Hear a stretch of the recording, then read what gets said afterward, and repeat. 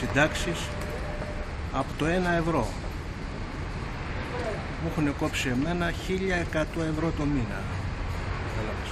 Προσπαθώ να κάνω μία, ακτινο, μία αγκιογραφία εγκεφάλου σε 7 ιατρικά κέντρα πήγα μου λέει δεν δεχόμαστε το ΙΟΠΗ δεν μας πληρώνει καταλαβαίνετε λοιπόν από εκεί και πέρα κατάλαβες Ευχαριστώ πάρα πολύ. αλλά